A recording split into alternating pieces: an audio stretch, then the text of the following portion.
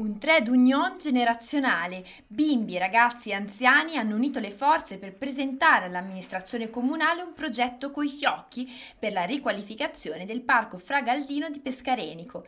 Gli studenti di ingegneria edile e architettura del Polo di Lecco del Politecnico hanno finalizzato i contributi di tutti gli addetti ai lavori, realizzando diversi modelli.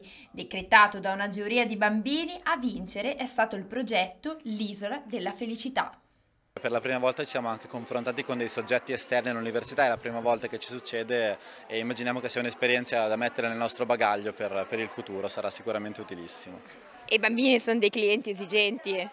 Un sacco, infatti non ce l'aspettavamo, è stato quasi più duro lavorare con loro che con i nostri professori sotto alcuni punti di vista. Devi vedere il tuo diploma.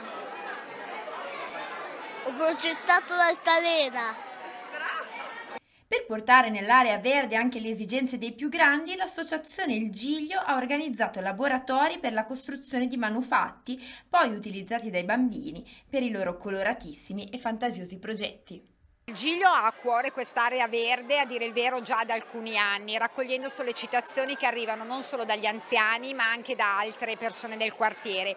Per cui quando si è creata questa opportunità di questa progettazione partecipata, ovviamente noi non potevamo non esserci.